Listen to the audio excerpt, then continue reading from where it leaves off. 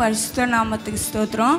எனக்கு ரெண்டு பெண் பிள்ளைங்க. பெரிய மக வந்து இன்ஜினியர் படிச்சுட்டு இருக்கும்போது ரொம்ப பிரச்சனை.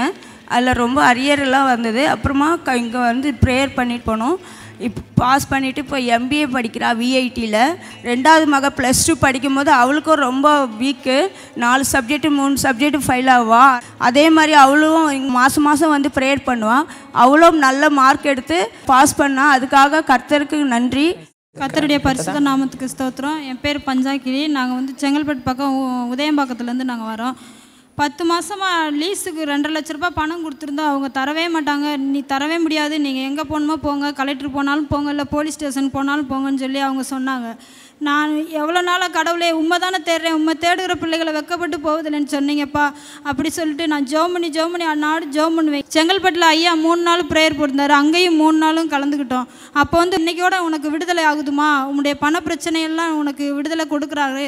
ஏசப்பான்னு சொல்லிட்டு அப்படியே ஜெபம் பண்ணிட்டு நாங்கள் போயெல்லாம் கடவுள் எங்களுக்கு மூணே நாளில் அவங்க வந்து அவங்களே தேடி வந்து எங்களுக்கு பணம் கொடுக்குற அளவுக்கு கடவுளுக்கு அற்புதமாக எங்களுக்கு விடுதலை கொடுத்தாரு.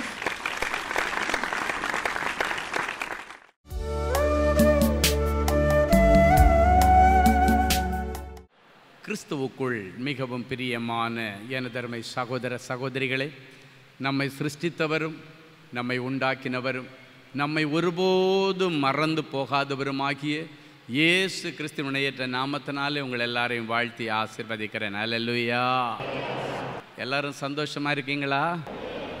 இந்த நாளிலும் ஆண்டவருடைய பாதப்படியிலே அமர்ந்து இன்றைக்கு என் பிள்ளைகளுக்கு என்ன வார்த்தை சொல்ல விரும்புகிறேன்? என்ன வார்த்தை சொல்லி என் பிள்ளைகளை ஆசீர்வதிக்க பரலோகம் சித்தம் வைத்திருக்கிறது. தேவ சமூகத்திலே நான் கண்ணீரோடு ஜெபத்திலே காத்திருந்த பொழுது கர்த்தர் நம்மை ஆசீர்வதிக்கும்படி கொடுத்த மங்கள வார்த்தையை எடுத்து வாசிப்போம். பிலிப்பியரின் புஸ்தகம் ரெண்டாம் அதிகாரம் ஆறு ஏழு எட்டு ஆகிய வசனங்கள். அவர் தேவனுடைய ரூபமாய் இருந்தும் தேவனுக்கு ஒப்பாய் இருக்கிறதை கொள்ளையாடின பொருளாக எண்ணாமல் தம்மை தாமே வெறுமையாக்கி அடிமையின் ரூபமெடுத்து மனுஷ சாயலானார். அவர் மனுஷ ரூபமாய் காணப்பட்டு மரண படியந்தமும் அதாவது சிலுவையில் மரண பரியந்தமும் கீழ்ப்படிந்தவராகி தம்மை தாமே தாழ்த்தினார்.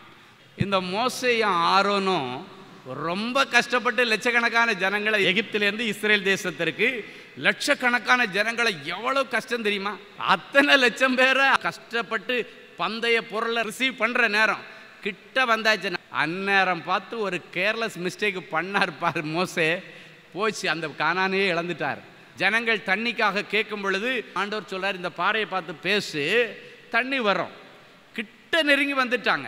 கிட்டனா ரொம்ப கிட்ட. அதுக்கப்புறம் அவ்வளவு நாற்பது வருஷம் சுற்றி வந்தவங்க அதுக்கப்புறம் ரிசீவ் பண்ணி கிட்ட போகிற நேரத்தில் வரும்பொழுது தான் வென வந்து சேருது பாருங்கள் திடீர்னு ஆண்டவர் சொல்ல மோசை கத்துறார். ஆண்டவரே இவங்க தண்ணி கேட்குறான் தண்ணி கொடுக்கணும். இந்த வனாந்திரத்தில் எங்கே தண்ணி இருக்குது இன்னும் கொஞ்ச நாள் போனால் பாலுந்தேனும் ஓடுகிற கானான் தேசத்துக்குள்ளால போயிடலாம் சில நாட்கள் போகிற தூரம் தான் இருக்குது வருஷங்கள் எல்லாம் தாண்டி வந்துட்டாங்க. கடைசி நிமிஷத்தில் ஆண்டவர் சொன்னார் ஒரு பாறையை காமிச்சு இந்த பாறையை பார்த்து பேசு தண்ணி வரேன்னார்.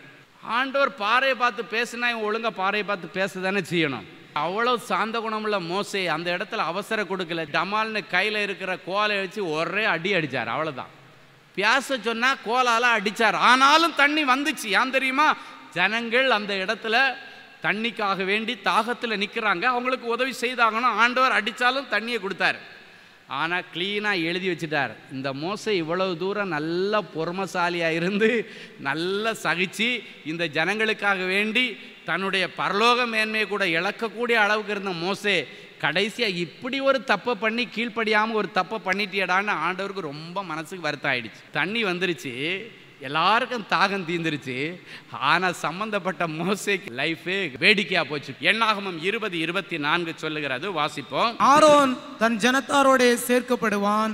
ஆரோன் தன் ஜனத்தாரோட சேர்க்கப்படுவார் மேரிபாவின் தண்ணீரை பற்றிய காரியத்தில் மேரிபாவின் தண்ணீரை பற்றிய காரியத்தில் நீங்கள் என் வாக்குக்கு கீழ்ப்படியாமல் போனபடியினால் நீங்கள் என் வாக்குக்கு கீழ்ப்படியாமல் போனபடியினால் நான் இஸ்ரவேல் புத்திரருக்கு கொடுக்கிற தேசத்தில் நான் இஸ்ரவேல் புத்திரருக்கு கொடுக்கிற தேசத்தில் அவன் பிரவேசிப்பதில்லை. அவன் பிரவேசிப்பதில்லை. மோசே ஆண்டவருடைய வார்த்தைக்கு கீழ்ப்படியாமல் போனபடியினால் கொடுப்பேன் என்று சொல்லி வாக்குத்தத்தம் பண்ணின தேசத்திலே அவன் பிரவேசிப்பதில்லை. அல்லேலூயா கடைசியாக என்ன நடந்துச்சு தெரியுமா? ஆண்டவர் மோசையை கூப்பிட்டாரு. மோசே கடைசி நிமிஷத்தில் பந்தய பொருளை மிஸ் பண்ணிட்டேன் ஐ எம் வெரி சாரி மோசே. சரி எதுக்கு இவ்வளவு நாள் நீ கஷ்டப்பட்டு வந்ததுனால உனக்கு ஏதாவது ஒரு சின்ன ஒரு ஏற்பாடாவது நான் பண்ணி ஆகணும்னு சொல்லி அந்த இடத்துல இருந்து நடந்து வருகிற தூரத்தில் தான் நேபோ மலை இருக்கிறது. அந்த மவுண்ட் நெபோவில் உச்சியில் வந்துட்டு ஆண்டவர் சொல்றாரு உன் ஜனங்களுக்கு நான் கொடுப்பேன் என்று சொல்லி வாக்குத்தத்தம் பண்ணின தேசத்தை இப்போ உன் கண்ணால் பாரு நீ அதுக்குள்ளே போக முடியாது. மோசை பாவம் போல பரிதாபமாக பார்த்தான். மோசைக்கு ஒரு சந்தோஷம் சரி எனக்கு கிடைக்கலனாலும் நான் கஷ்டப்பட்டு கொண்டு வந்து என் பிள்ளைங்க இன்னும் ஒன்று ரெண்டு நாளுக்குள்ளால உள்ளே போக போகிறாங்க என்று நிம்மதி பெருமூச்சு விட்டு அதே மலையிலே அதே மவுண்ட் நெபோ மலையிலே மோசே மறித்து ஆண்டவரே மேலேருந்து வந்து இறங்கி அவனுடைய சரீரத்தை எடுத்து அடக்கம் பண்ணாராம். இந்த உலகத்தில் இதுவரைக்கும் இருந்ததுலேயும் இருக்க போகிறதுலையும் ஆண்டவர் வந்து இறங்கி ஒரு மனுஷனுடைய சரீரத்தை எடுத்து அடக்கம் பண்ணாருன்னா மோசைக்கு மட்டும்தான். ஹalleluya அவன் கீழ்ப்பணியாதது நிமித்தம் அவனுக்கு ஒரு தண்டனை கொடுக்கப்பட்டது. ஆனாலும் அவன் செய்த நல்ல காரியத்தை ஆண்டவர் ஆனர் பண்ணார். ஹalleluya என் அன்பு சகோதரனை சகோதரி இன்னைக்கு ஆண்டவர் உங்களை பார்த்து சொல்றாரு அன்றைக்கு அவ்வளவு கஷ்டப்பட்டு வந்த மோசே கீழ்ப்படியாமை என்கிற ஒரே காரணத்தினால அந்த தேசத்துக்குள்ள போகல. அதுக்கு முன்னாடி அந்த பார்டரோட அவருடைய அத்தியாயம் முடிந்து அதன் பிறகு யோசுவாவுடைய தலைமையில் அங்கேருந்து போறாங்க. இன்னைக்கு ஆண்டவர் உங்களை பார்த்து சொல்கிறாரு கீழ்ப்படியாததுனால அவன் கானான் தேசத்திற்குள்ளே பிரவேசிக்கலை. வசனம் சொல்லுகிறது கொடுப்பேன் என்று நான் சொன்ன தேசத்தில். உங்களுக்கு கொடுப்பேன் என்று சொன்ன தேசத்தில். அவன் போகலை. அப்படின்னா கொடுப்பேன் என்று சொன்னது தீர்க்க தரிசனம் ஆமே வாக்கு தத்தம் அந்த தீர்க்க தரிசனம் நிறைவேறுகிறது. எதில் இருக்குன்னா நம்முடைய கீழ்ப்படிதல்ல. சிலர் சொல்லுவாங்க இந்த ஊழியக்காரர் மூலமாக எனக்கு இப்படி ஒரு தீர்க்க தரிசனம் வந்துச்சு. அந்த தீர்க்க தரிசனம் நிறைவேறலை. ஊழியக்காரர் தீர்க்க தீர்க்கதரிசி போல இருக்குது அப்படின்னு சொல்ல சொல்லுவாங்க. ஏன் தெரியுமா சொல்லுவாங்க? உனக்கு இத்தனை நாளைக்குள்ளால கல்யாணம் நடக்கன்னு ஊழியக்காரர் மூலமாக ஆண்டவர் தீர்க்க தரிசனம் சொல்லியிருப்பார். இன்னும் ரெண்டு மாதத்தில் உனக்கு கல்யாணம் நடக்கும் அப்படின்னு சொல்லியிருப்பார். இந்த அம்மா சரி சரின்னு சொல்லிட்டு ரெண்டு மாசத்துல நடக்கணுவாங்க ரெண்டு வருஷம் ஆகி நடக்காது. அதுக்கப்புறம் போய் என்ன சொல்லுவாங்க ஊரெல்லாம்? அது கள்ள தீர்க்கதரிசி அவர் என்னமோ வாயில் வந்தது சொல்லிட்டு பாரு. அவர் பாட்டுக்கு சொல்லிட்டு போயிட்டாரு. இன்றைக்கி நான் ரெண்டு வருஷமாக கஷ்டப்படுறேன். அப்படின்னு நிறைய பேர் புலம்புகிறத நம்ம பார்த்துருக்குறோம். நல்லா கவனிங்க. மோசைக்கும் சேர்த்து தான் ஆண்டவர் சொன்னார் உனக்கு காணான் தேசத்தை கொடுப்பேன். தீர்க்க தரிசனம். ஆனால் இந்த இடத்துல ஆண்டவர் சொல்கிறாரு நீ என் வார்த்தை கீழ்ப்படியாததுனால உனக்கு கொடுப்பேன்னு சொன்ன அந்த ப்ராஃபஸியை நான் வாபஸ் வாங்கி கேன்சல் பண்ணியாச்சு உனக்கு அது கிடையாது. இன்னைக்கு நிறைய வாக்குத்தத்தங்கள் உங்களுடைய வாழ்க்கையில் நிறைவேறாததற்கு காரணம் ஏதோ ஒரு காரியத்தில் மோசையை போல நீங்கள் ஆண்டவருக்கு கீழ்ப்படியவில்லை. இல்லைன்னாச்சுன்னா கீழ்ப்படிஞ்சிருப்பீங்க சற்று மாற்றி கீழ்ப்படிஞ்சிருப்பீங்க. மோசையை மாதிரி சற்று ஒரு ஒரு ஆல்டர்னேட் தேடி இருப்பீங்க ஆண்டவர் சொன்னதுக்கு பிறகு நோ ஆல்டர்னேட் ஆல்டர்னேட் தேடக்கூடாது. பேசுனா பேச தான் செய்யணும். அடின்னா தான் அடிக்கணும். அடின்னு சொன்னால் பேசவோ பேசுன்னு சொன்னால் அடிக்க வேணால் ஆல்டர்னேட் ஆண்டவருடைய பிள்ளைகள் அப்படி செய்யக்கூடாது. சற்று மாற்றி அமைத்தாலும் உனக்கு கொடுப்பேன் என்று சொல்லி ஆண்டவர் சொன்ன தீர்க்க தரிசனம் உனக்கு நிறைவேறாது. இன்றைக்கி எத்தனை பேர் அப்படி ஊழியக்காரங்களை சபிச்சிங்களோ திட்டுனீங்களோ ஆண்டவர்கிட்ட நீ மன்னிப்பு கேட்கணும். ஆண்டவரே இது அவங்க தப்பு இல்லை என்னுடைய தப்பு. நீங்கள் வாக்கு சொன்னால் நிறைவேற்றுவீங்க நிறைவேறலைன்னா ஒருவேளை என்கிட்ட தான் தப்பு இருக்க வேண்டும். நான் தான் ஏதோ ஒரு காரியத்தில் குறைபட்டிருக்க வேண்டாம். எப்போவுமே பிசாசு என்னென்னா உங்கள் சைடு உள்ள தப்பை உங்களுக்கு காட்டவே மாட்டேன். நீ நல்ல புள்ளமோ அப்படின்வான் உன்னை மாதிரி ஒரு நல்ல புள்ள பார்க்க முடியாது. உன்ன மாதிரி ஒரு நல்ல மனுஷனை பார்க்க முடியாது. நீ கரெக்டாக கோயிலுக்கு போகிற தசம் பாகம் கொடுக்குற எல்லாம் அது செய்கிற இது செய்கிற எல்லாம் செய்கிற ஆனால் புருஷனுக்கு கீழ்ப்படுறியா அம்மா அப்பாவுக்கு கீழ்ப்படுறியா எல்லாம் செய்கிற எல்லாம் செய்துட்டு முக்கியமானதை கோட்டை விட்டுறீங்க. அல்ல லூயா அப்போ பாருங்க நீங்கள் செய்கிற நல்ல காரியம் எல்லாமே இந்த கீழ்ப்படியாமை நிமித்தம் அடிபட்டு போகுது. அதனால தான் இன்றைக்கி ஆண்டவர் கீழ்ப்படிதலை பற்றி ஸ்பெஷலாக சொல்கிறார் இயேசு கிறிஸ்து மரண பரியந்தம் கீழ்ப்படிந்தவராகி தன்னை தாழ்த்தினார். இன்னைக்கு நீ அப்படி தான் உங்களை தாழ்த்தணும். மோசைக்கு கீழ்ப்படியலை அதனால் அவனுக்கு காணானுக்குள்ளே பிரவேசிக்க முடியலை. ஆனால் இதே வேதத்தில் நோவான்னு ஒரு மனுஷனை பற்றி என்ன தெரியுமா பைபிள் சொல்லியிருக்கு? ஆதியாகமம் ஆறு இருபத்தி ரெண்டு சொல்லுகிறது நோவா அப்படியே செய்தான் தேவன் தனக்கு கட்டளையிட்டபடியெல்லாம் செய்து முடித்தான். மோசே அப்படியே செய்யலை கொஞ்சம் மாற்றி செய்தான் கானானுக்குள்ளே பிரவேசிக்க முடியலை. ஆனால் நோவா வயசான காலத்தில் ஆண்டவர் நோவாவை கூப்பிட்டார். நோவா இங்கே வாழ்னார் என்ன ஆண்டவரேன்னு போய் நிற்கிறான் எனக்காக நீ ஒரு காரியம் பண்ணுவியான்னு கேட்டார். செய்கிறான் ஆண்டவரே அப்போ ஒன்று பண்ணு ஒரு பெரிய பேழை ஒன்று நீ பண்ணணும். ஃபுல் ப்ளூ பிரிண்ட்டு வார்த்தையிலே கொடுக்குறார் ப்ளூ பிரிண்ட்டு இன்ன மெட்டீரியல் இவ்வளவு ஆழம் இவ்வளவு நீளம் இவ்வளவு அகலம் அதில் இவ்வளோ ஹைட்டில் இந்த இடத்துல ஒரு ஜன்னல் வைக்கணும் இந்த மாதிரி கீழ் பூசணும் எல்லாமே பர்ஃபெக்டாக ஒரு வரைபடத்தை ஆண்டவர் கொடுத்துட்டார். அவன் அந்த வரைபடத்தை கவனமாக கேட்டான்.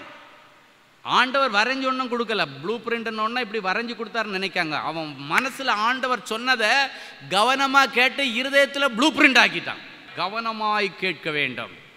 ஆண்டவர் ஒரு வார்த்தையை பேச ஆரம்பிக்கும் பொழுது தேவனுடைய செய்தி செய்தி வேலை தேவாலயத்திலே வரும் பொழுது நீங்கள் டிவியில் பார்க்கும் பொழுது கவனமாக இருக்கணும். கவன குறைவு இருக்கக்கூடாது. நீ கவனமாக கேட்குறதே ஆண்டவரை மதிக்கிறதுக்கு அடையாளம்.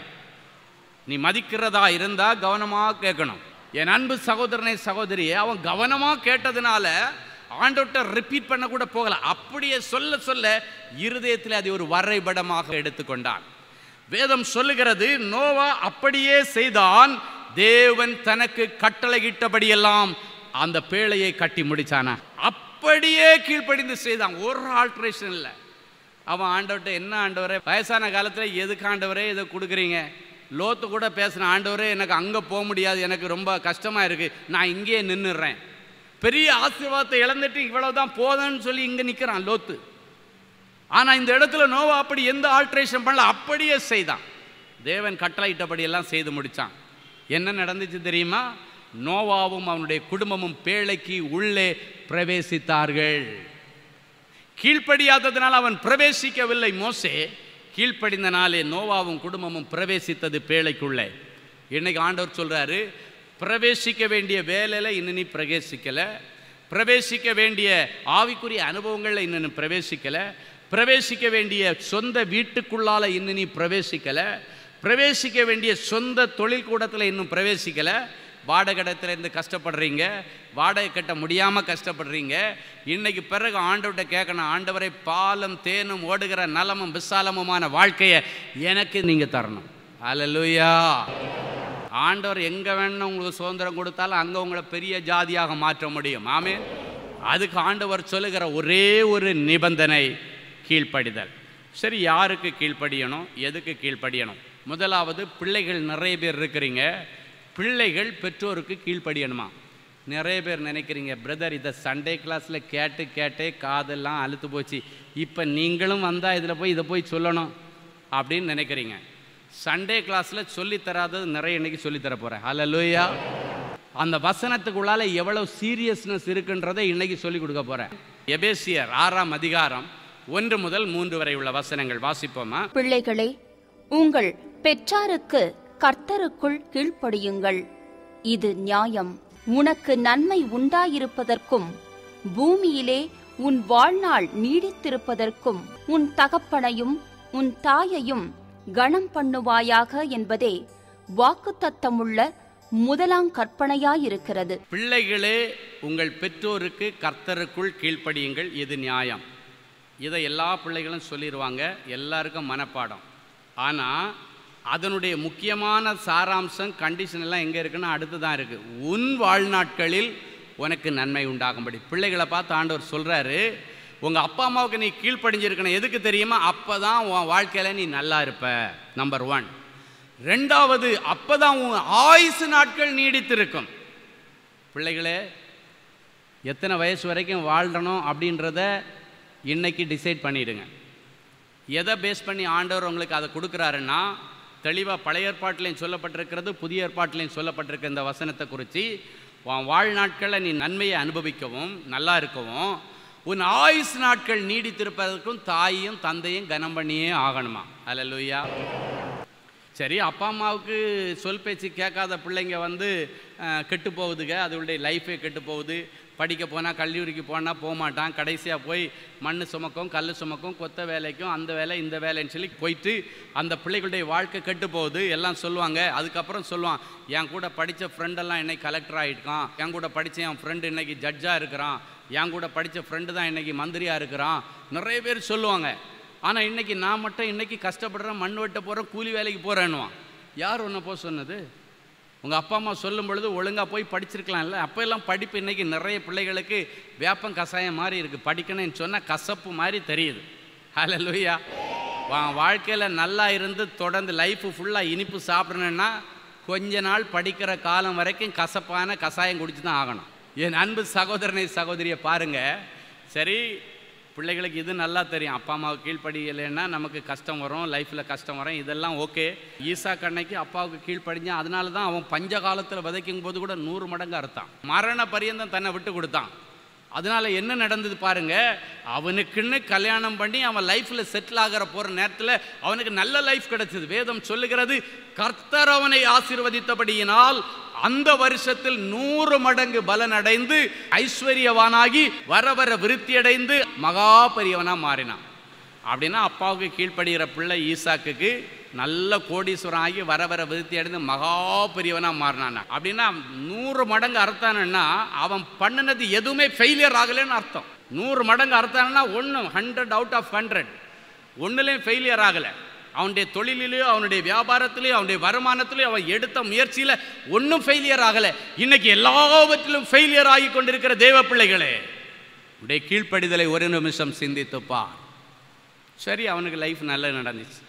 அடுத்த ஆண்டவர்கிட்ட கேட்டேன் ஆண்டவரே உண்மையிலேயே அப்பா அம்மாவுக்கு கீழ்ப்படியலைன்னா அற்ப ஆயுஸ் வருமான்னு கேட்டேன். இது நேரடியாகவே கேட்டுட்டேன். இந்த வசனத்துக்கு அர்த்தம் அதுதானே? உன் ஆயுசு நாள் நீடித்திருப்பதற்கு அப்பா அம்மாவை கனம் பண்ணேன். அப்படின்னா ஸ்ட்ரைட்டாக சொன்னால் ஆண்டவர்கிட்ட நேரடியாகவே கேட்டேன் சுற்றி வளர்ச்சல் ஆண்டவர் உண்மையிலே அப்பா அம்மாவுக்கு கீழ்ப்படியலைன்னா அவனுக்கு ஆயுசு அற்பம் தானா அப்படின்னு கேட்டால் ஆமாம் அப்படின்னார். நான் சொன்னேன் இதை நான் பிரசங்கம் பண்ணனேன்னா பைபிளில் அப்பா அம்மாவுக்கு கீழ்ப்படியாததுனால அற்ப ஆயுசில் செத்த யாராவது ஒருத்தரை காமிச்சிங்கன்னா இதை சொல்லி நான் போய் சொல்கிறேன் இல்லைன்னா சொல்ல மாட்டேன் அப்படின்னு அல்லலூயா ஆண்டவர் சொன்னார் உனக்கு உதாரணம் தானே வேணும். இப்போ நான் தர்றேன்னு ஒரு வசனத்தை எடுத்து கொடுத்தாரு பாருங்க அப்படியே ஆடி போயிட்டேன். வாசிங்க அந்த வசனத்தை. ஒன்று சாமுவேலின் புஸ்தகம் ரெண்டாம் அதிகாரம் இருபத்தி ஐந்தாவது வசனம். மனுஷனுக்கு விரோதமாக மனுஷன் பாவம் செய்தால் நியாயாதிபதிகள் அதை தீர்ப்பார்கள். ஒருவன் கர்த்தருக்கு விரோதமாக பாவம் செய்வானேயாகில் அவனுக்காக விண்ணப்பம் செய்யத்தக்கவன் யார் என்றான். அவர்களோ தங்கள் தகப்பன் சொல்லை கேளாமற் போனார்கள்.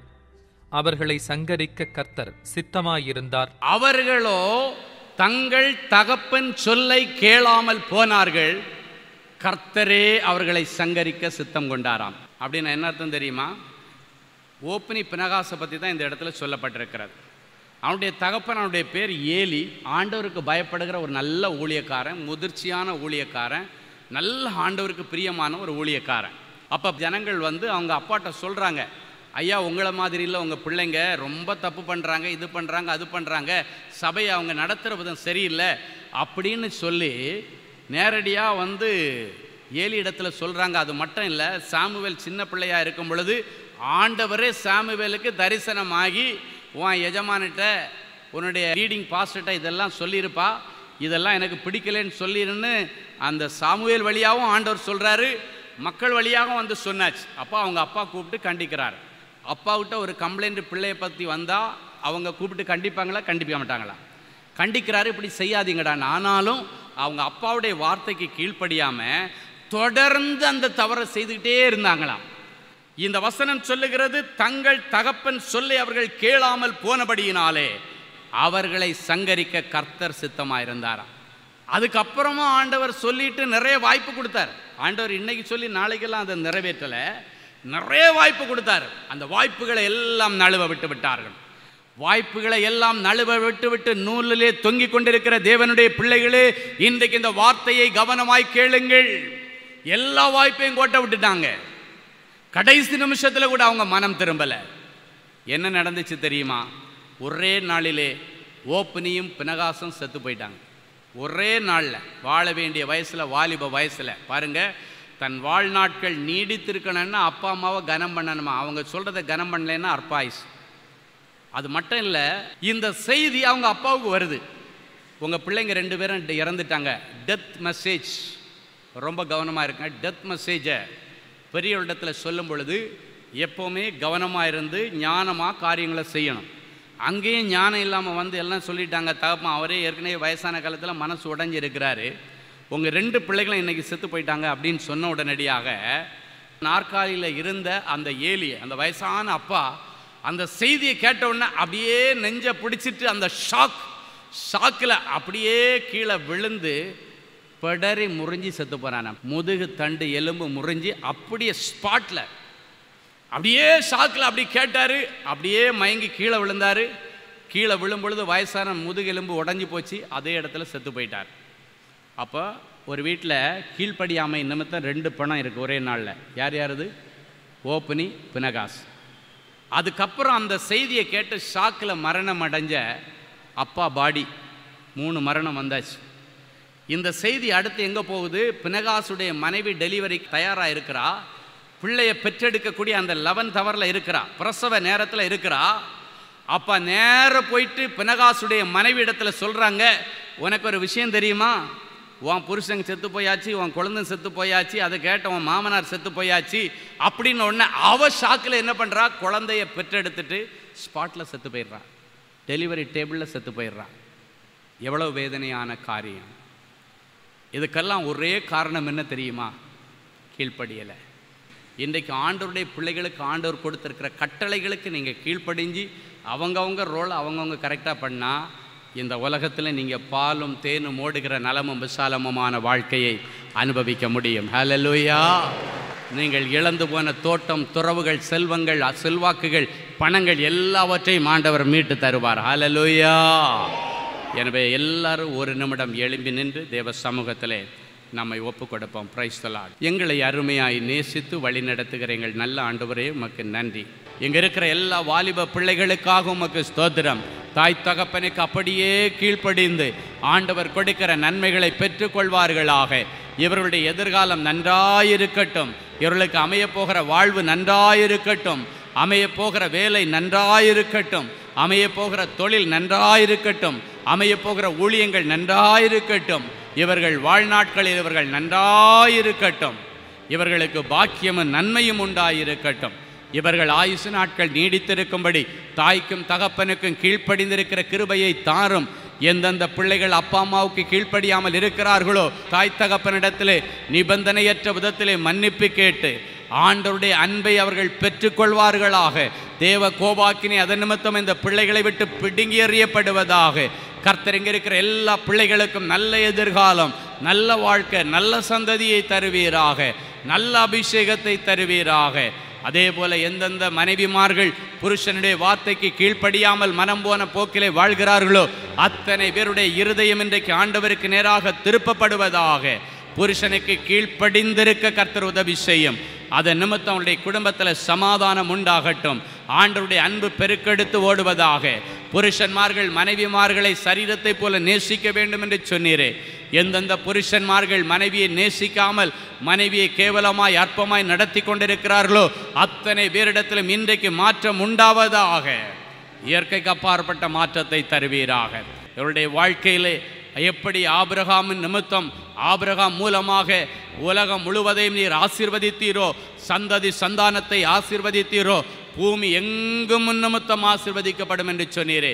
இவர்கள் முழு குடும்பத்தையும் இவர்கள் மூலமாய் ஆசிர்வதிக்கும்படி உடைய கைகளின் பிரயாசத்தை ஆசீர்வதியும் தொழிலை ஆசீர்வதியும் வேலையில்லாத பிள்ளைகளுக்கு வேலை கிடைக்கட்டும். ஈசாக்கு நூற்றுக்கு நூறு அறுத்தது போல என் பிள்ளைகள் நூற்றுக்கு நூறு அறுவடை செய்ய நிறைஞ்ச மனசில் பிள்ளைகளை ஆசீர்வதிக்கிறேன். எல்லா பாவ உணர்வுகள் மறைந்து போகட்டும். கீழ்ப்படிதரின் அபிஷேகத்தை பிள்ளைகள் மேலே வைக்கிறேன். இயேசுவின் மூலம் பிதாவே. ஆமேன் ஆமேன். கிறிஸ்துவுக்குள் அன்பானவர்களே ஆண்டவராகிய இயேசு கிறிஸ்துவின் இனிய நாமத்தில் அன்பின் வாழ்த்துக்கள்.